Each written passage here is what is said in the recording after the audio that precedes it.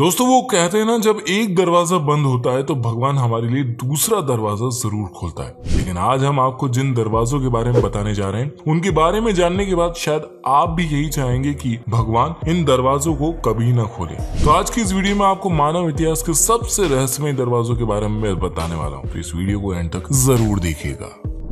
Number one sealed doors of Taj Mahal दोस्तों ये बात तो हम सभी जानते हैं कि ताजमहल को शाहजहां ने मुमताज़ की याद में बनवाया था, जिसे कि बाईस हज़ार कारीगरों व एक हज़ार हाथियों की मदद से बनाया गया था।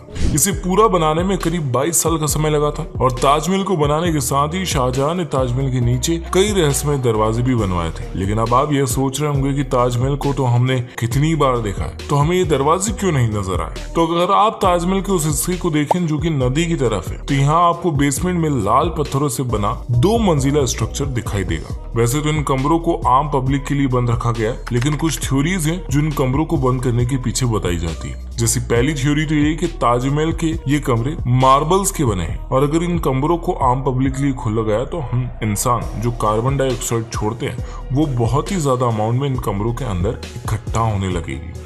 और अंदर ही अंदर ये मार्बल के साथ रिएक्ट करके उसे कैल्शियम कार्बोनेट में बदल देगी। जिससे ताजमहल के बेस को काफ़ी नुकसान पहुँच सकता है। इसके चारों ओर बने ये स्तंभ गिर भी सकते हैं। और इसको लेकर जो सेकंड थ्योरी वो ये है कि इन्हीं कमरों में से किसी एक कमरे में मुमताज़ महल की बॉडी को बिल्कुल उसी हालत में आज भी प्रिजर्व करके रखा गया है।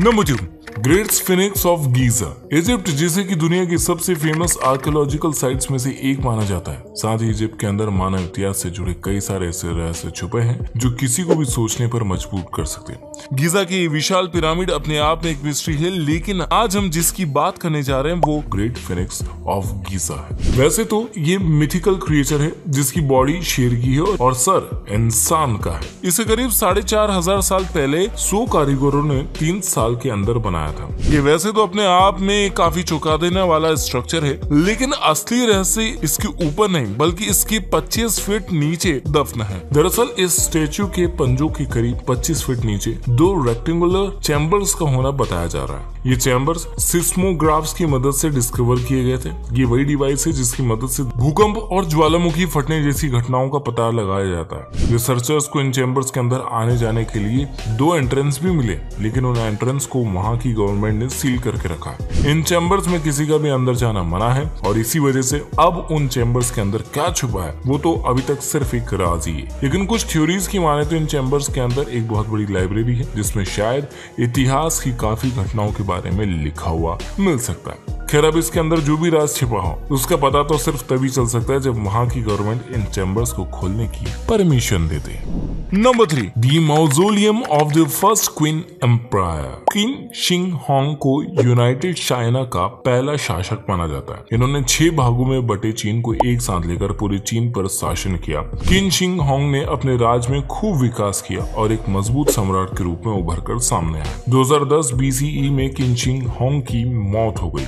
उन्हें मर्क्यूरी से घिरी ज़मीन के अंदर दफनाया गया। उसके करीब 2000 साल बाद 1974 में कुछ किसान शेंग यांग नाम की जगह पर जब खुदाई का काम कर रहे थे, तभी उन्हें अचानक एक मिट्टी की मूर्ति मिली, जो कि किसी सैनिक की तरह दिखाई दे रही थी। इसके बाद से करीब 40 सालों तक तो वहाँ पर खुदाई का काम चला और ऐसी करीब 2000 पुतले ज़मीन से और निकाले गए। इतना ही नहीं, रिसर्चर्स ने अनुमान लगाया कि ऐसी करीब 8000 पुतले ज़मीन में कहीं दबे हो सकते हैं। किंग चिंग होंग की समाधि करीब 98 स्क्वायर किलोमीटर के एरिया में फैली हुई है और मर्क्यूरी से घिरी होने की वजह से यहाँ पर और ज़्यादा खुदाई करने से आसपास के गाँव वालों की जान को खतरा हो सकता प्राचीन इतिहासकार सीमा खीन का माने तो इस समाधि के अंदर महल, टावर और खजाने भी दबे हो सकते हैं। लेकिन इसके नीचे असल में क्या है, वो तो अब तक सिर्फ़ राज ही है। Number four Padma Swami temple हमारी लिस्ट का आखिरी दरवाज़ा है त्रिवेंद्रम में बने पद्म स्वामी मंदिर का। वैसे तो इस मंदिर की कलाकृतियाँ और इंजीनियरिंग दोनों ही दुनिया में सबसे अलग है। यह मंदिर उस समय चर्चा में आया जब 2011 में सुप्रीम कोर्ट के ऑर्डर पर इस मंदिर के पाँच वॉल्ट को खोल दिया गया। वैसे तो पद्म स्वामी मंदिर के अंदर टोटल छह वॉल्ट है जिन्हें ए से लेकर एफ़ तक नाम दिए गए हैं। जब इस मंदिर के छह में से पाँच वॉल्ट को खोला गया तो सबकी आँखें फटी की फटी रह गई, क्योंकि इन पाँच कमरों में सोने, हीरे, रत्न सिक्के भरे हुए थे, जिनकी टोटल कीमत करीब करीब वन ट्रिलियन डॉलर थी। साथ ही इसमें देवी देवताओं की काफ़ी सारी मूर्तियाँ भी मिली और वही बात करें मंदिर के सिक्स रूम की, जिसे की वॉल्ट बी भी कहा जाता है, यही इस मंदिर का सबसे मिस्टीरियस पार्ट है। इस कमरे के गेट पर किसी तरह का कोई ताला नहीं लगाया गया लेकिन इस गेट पर दो कोबरा सांप बने हैं। और ऐसा माना जाता है कि इन दरवाजों की रक्षा भी ये सांप करते हैं। और ऐसा माना जाता है कि इस दरवाजे को खतरनाक शराब के साथ सील किया गया और ऐसा कहा जाता है कि कोई साधु जिसे गरुड़ मंद का ज्ञान हो, वही इस गेट को खोल सकता है। इन गेट्स को खोलने का वहाँ के लोगों ने भी काफ़ी विरोध किया। जिसके बाद सरकार ने इस सिक्स कमरे के दरवाजे को नहीं खोलने का फैसला ले लिया। तो ये था आज के हमारे, आज के सबसे रहस्यमय दरवाजे। इस वीडियो को इन तक देखने के लिए बहुत बहुत शुक्रिया। अब आपने देख लिया तो इस चैनल को खूब सारा लाइक कर दीजिए दिल से शेयर कर दीजिए और जाने से पहले उस नोटिफिकेशन बेल आइकन को हिट कर दीजिए, ताकि आगे आने वाली कोई भी रहस्यमय बात आपसे दूर ना रह जाए। मैं मिलूँगा आपसे अगली वीडियो में, तब तक लिए बाय